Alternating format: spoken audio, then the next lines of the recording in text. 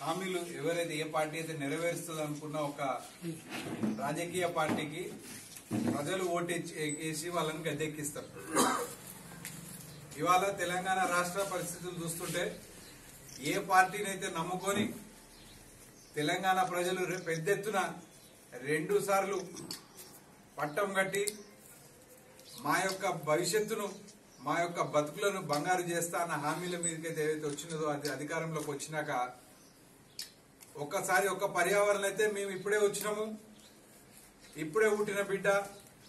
ఇంకా సమయం పడుతుంది.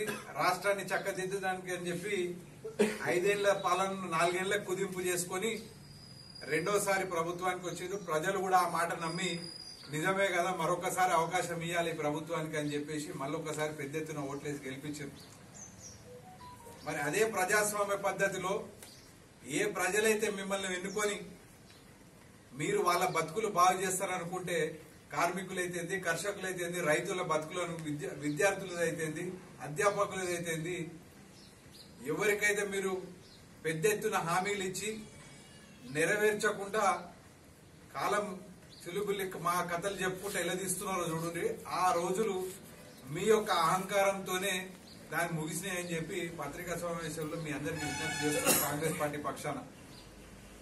ఇవాళ ప్రభుత్వం యొక్క ఏదైతుందో వాళ్ళ యొక్క ధోరణి ప్రత్యేకంగా కార్మిక క్షేత్రం పైన మరి ఆర్టీసీ యొక్క ఉద్యోగుల పైన ఉన్న వాళ్ళ యొక్క ధోరణి ఇవాళ వాళ్ళ యొక్క ఆ ప్రత్యేకమైన కార్మిక వర్గానికి కాదు వీళ్ళు ప్రతి ఒక్క వర్గంతోని ఏ వర్గాలకు వీళ్ళు హామీ ఇచ్చిండ్రో అందరితోని కూడా ఇదే పద్ధతిలో వీళ్ళు వ్యవహరిస్తున్నారు. ఏదో ప్రతి దానికి ఒక టైం ఉంటుందని చెప్పి మనం చరిత్రలో చూసినాం. ఇవాళ వాళ్ళ అహంతోనే ఈ ప్రభుత్వానికి మరి దిగి ప్రభుత్వం దిగిపోయే రోజులు దగ్గర పడ్డాయని చెప్పి నేను మీకు మనవి చేస్తున్నాను మీరు ఎక్కడ చూసినా కూడా ఏ రంగంలో చూసినా కూడా ప్రభుత్వం పెద్ద ఎత్తున హామీలు ఇచ్చింది. మీకు నేను చెప్పనవసరం లేదు. మీరే ఇంకా ప్రత్యక్షంగా మీరు చూస్తున్నారు అందరూ. రైతు బంధు పథకం అయితేంది? రైతు బీమాకు సంబంధించిన విషయం అయితేంది? రైతు రుణమాఫీ సంబంధించిన విషయం అయితేంది? విద్యార్థులకు హామీ ఇచ్చిన విషయానికి సంబంధించిన అనేక అంశాలు ఉన్నాయి. అంత అంత మాట ఎందుకు? మీకు పాత్రికేయులకు ఇచ్చిన హామీలు ఎన్ని వరకు నెరవేరినాయి అని చెప్పి నేను మిమ్మల్ని అడుగుతున్నాను హామీలు నెరవేర్చేందుకు మీకు ఒకటిసారి కాదు రెండు సార్లు మీకు ప్రభుత్వానికి ఓటేసిన ప్రజలు.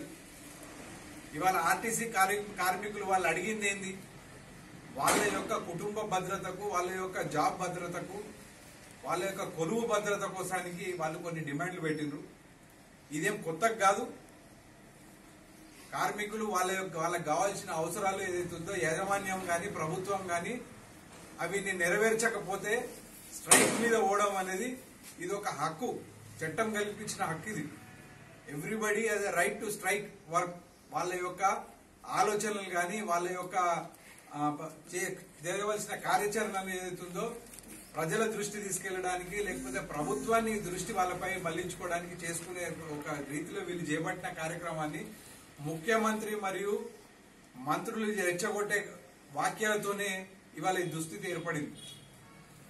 ఇవాళ ఒక కుటుంబానికి పెద్ద మనిషిలాగా చేయాల్సింది ఏంది ఇంట్లో ఈ నలుగురు పిల్లలు ఉన్నప్పుడు ఏ ఒక్క పిల్ల బిడ్డకు కానీ కొడుకు కానీ ఇబ్బంది జరిగినప్పుడు వాళ్ళు బాధపడుతున్నప్పుడు దగ్గర తీసుకొని చెప్పాలి కానీ ఏం చేసుకుంటారో చేసుకోపోని మీ ఇష్టం ఉన్నట్టు చేసుకోపోని అని చెప్పి ఇది ఒక మామూలు ఒక వీధి రాజకీయం చేసే చిన్న రాజ- గల్లీ నాయకులు మాట్లాడే విధంగా ముఖ్యమంత్రి మాట్లాడుతుంటే ఇవాళ నిజంగా యావత్ తెలంగాణ ప్రజానీకం తల వంచుకునే రోజులు ఇవి. వాళ్ళని పిలిచి చర్చలు జరపాల్సిందే. ఇది ప్రభుత్వం యొక్క బాధ్యత. దయచేసి ఇదేదో మీ ఇంటి గెట్టు పంచాయతీ అనుకోకుని టీఆర్ఎస్ నాయకులకు నేను హెచ్చరిస్తున్నా. ఇది మీ ఇంటి పంచాయతీ కాదు ఇది. యావత్ ప్రజానీకం గరీబోలు వాడుతున్న రవాణా సంస్థ. బస్సులలో పోయేదెవరు ఉద్యోగులు కానీ లేకపోతే చిరు వ్యాపారులు కానీ లేకపోతే ఇంకా అంతకన్నా మించిన ఆర్థికంగా దిగుబడి క్షేత్రం ఉన్న వాళ్ళు పోతారు. కార్లు బైకులు ఉన్న వాళ్ళు ఎవరు బస్సులు ఎక్కరు. ఇవాళ వాళ్ళ యొక్క బాధలు మీకు పడతలేవు.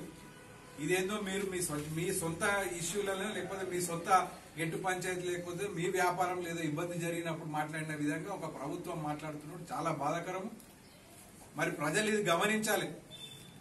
ఇవాళ పదిహేను రోజులు పండుగ పూట కూడా ఇబ్బంది జరిగినా కూడా ఇవాళ ప్రజలు అన్ని గమనిస్తున్నారు. ఏ విధంగానైతే ప్రభుత్వము స్పందిస్తున్నది వీళ్ళు ఏ విధంగానైతే ఈ కార్మికులతోని పూర్తిగా ఒక అంటరాని వ్యవస్థలో ఉన్నట్టు కార్మికులతో ఎవరు మాట్లాడినా కూడా వాళ్ళతో దూరం ఉంటున్నారు. మరి వాళ్ళని దూరం చేస్తున్నారు. ఎన్జిఓలను ఇబ్బంది పెట్టే కార్యక్రమం చేస్తున్నారు. ఎన్ని ఏం చేసినా కూడా ప్రజా అభిప్రాయం ప్రజా అభిప్రాయం మీరు కాదనుకొని ముందుకు పోతే మీరు కూడా కాలగర్భంలో కలిసిపోయే రోజులు దగ్గర పడుతున్నాయి. అది మీరు గమనించుకోండి.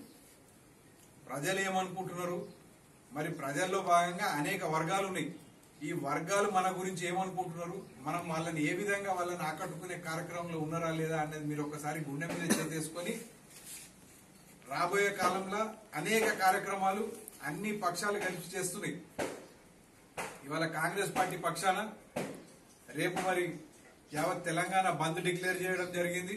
పంతొమ్మిదో తారీఖు నాడు నేను మీ ద్వారా ఈ వేదికపై నుంచి కాంగ్రెస్ కార్యకర్తలకు అందరికీ విజ్ఞప్తి చేస్తున్నా. అదేవిధంగా సామాన్య ప్రజానికులకు కూడా విజ్ఞప్తి చేస్తున్నా. దయచేసి మీరు ఈ బంద్ విజయవంతం చేయండి. ప్రభుత్వం మీ యొక్క మీకిచ్చిన ఏ హామీలు ఏదో నెరవేర్చకునేవో అవిటి పై కూడా స్పందన వస్తుందని చెప్పి మీకు తెలియజేస్తున్నాం.